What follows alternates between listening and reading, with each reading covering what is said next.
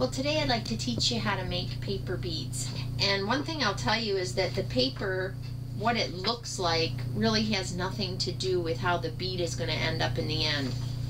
So don't let pattern you know guide you too much because you're really not going to see a whole lot of the pattern just go by color but it is nice to have some shadings of different tones in there so that the bead turns out neat um, so anyway here are some of my paper beads and so let's get started and see what we have. Well first what I did was I took a 12 by 12 piece of scrap paper and I cut it in half so it's six inches. You flip it over on the back and take a ruler and what I had done is it had been a long time since I started making these and hadn't finished it. So I had to lay it on the paper and it ended up being that they were an inch long. So you start on one end of the paper marking an inch you know every inch. On the other side of the paper you want to start with a half an inch and then go to your inch marks. What that does is let you get that peak for the triangle.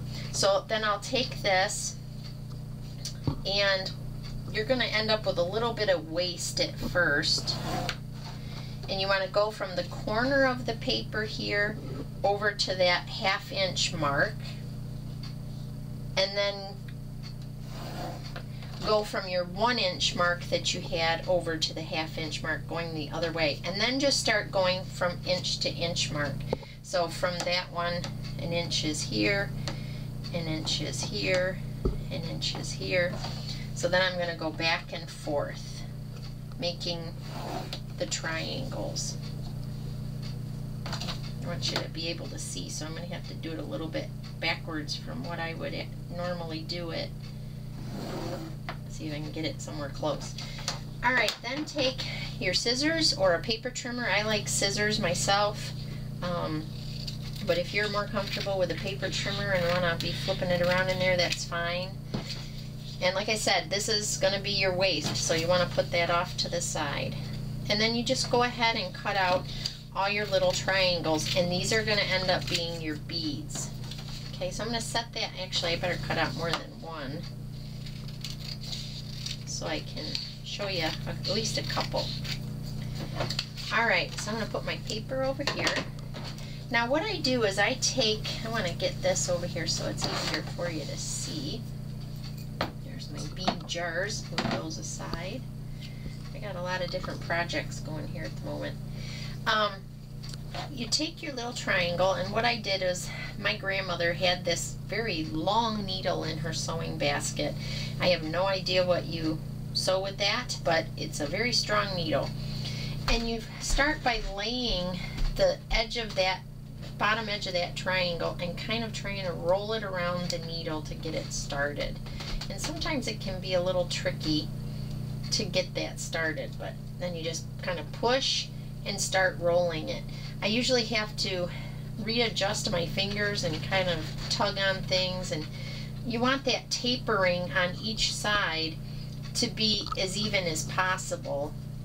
So you want to try to keep that peak going in the center so when you end up at the end of your bead it's kind of going down the middle instead of off to one end. And I don't know if you can see that or not that um, there's equal tapering pretty much on either end. I got a little scrap there. I'm gonna just rip that off. And you just keep rolling until you get that peak to go around. Now I've taken a mixture. You can either use Mod Mod Podge or um, I've taken white glue and made myself a little pan out of foil and I've put some water in it just to thin it down and I want to put a little bit right where that end is going to be. And what I do at first is just roll it around and this is where this can get a little messy. I roll it around, I find the end and sometimes hold it with my thumb for a little bit just to make sure it's going to stay. Take a little more glue and then start dabbing it on there. This is like a clear coat that's going to seal it and help it to stay in place and be a uniform bead at the end that won't come unraveled. I know they make some other kind of thing. I think it's called diamond glaze, which is a clear coat type thing that makes it really shiny.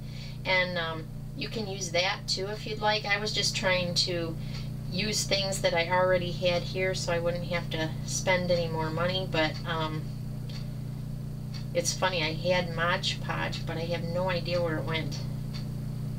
And if you saw the whole craft room, you can probably get an idea by what you can see that it's a little messy.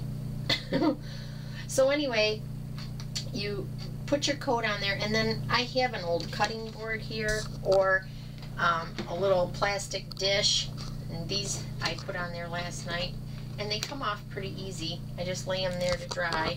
So I just push it off the needle and then go on to your next one, which I buried somewhere. Hmm, where did that one go? Ah, here it is. So then I'll, you take it again. I'll do one more so you can see.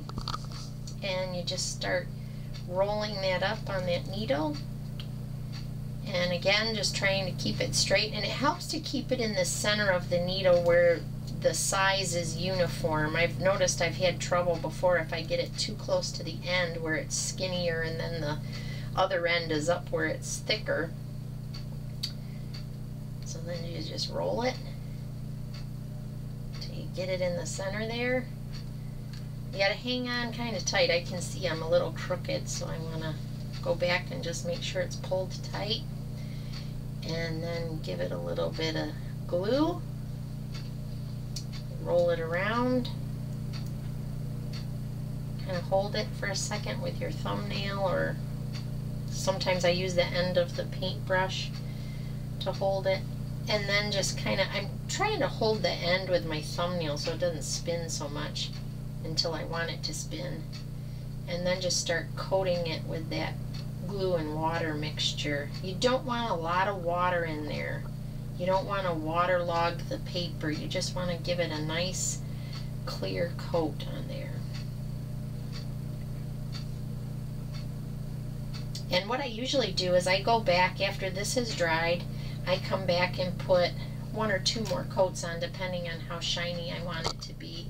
Just makes it look a little nicer, makes it look like a real bead um, when you're done. And then what I think I'm going to do, at least this is my plan so far, I can change my mind sometimes, but I have other little beads. These little ones are wooden, and then this is an actual glass bead. And what I'm thinking my pattern might be is something to this effect with um, a paper bead, wood, glass, wood, and then another paper bead. Enjoy making your paper beads. Thank you and have a good day.